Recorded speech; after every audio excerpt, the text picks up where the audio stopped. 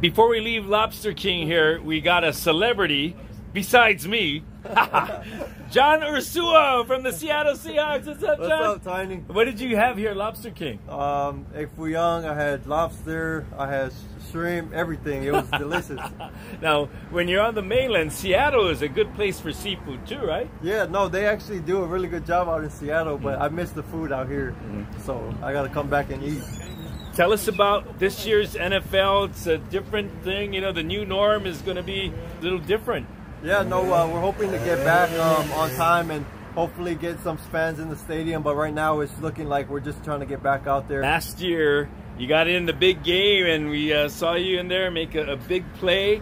Um, it was a big catch just because it was my first catch, um, and it was a big game. It was our, our, against the Niners. Was a big rival game. Kind of, it set us up for what seat we're going to be in for the playoffs. But uh, it was just nice to get my first catch out there. Yeah.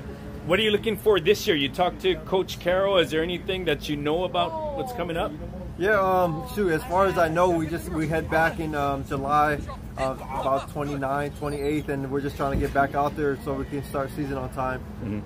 Ha- Have you any gut feeling on how you might be doing? Uh, do you feel like your second year is an advantage? Yeah, no, I think uh, I'll, I'll see the field a lot more this year, and I think um, I proved to them a little bit that I can play and compete at a high level. So hopefully this upcoming year I'll get some playing time. Clutch, man, clutch. Now I see you with the LeBron jersey. Are Yeah. you a, uh Laker fan?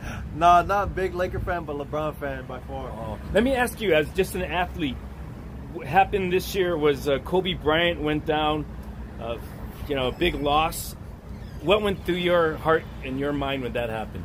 Um, that was a tough time for everybody, I think, just because he's such a role model. He's such a great impact in the sports world. And so it was just huge um, to see that happen. But, I mean, you just got to keep thr- thriving, strive to be the best, and uh, compete every day. And your friends here are all still ordering food, I think. Yeah. all right, guys. Thanks for bringing him over to Lobster King. Sure. John, good luck for real this year. Tiny. All right. Tiny, let me get a picture with you. Okay. Tiny. Picture time. You're watching Tiny TV Spectrum OC16. You never know who's going to pop up on Tiny TV. Okay, Tiny.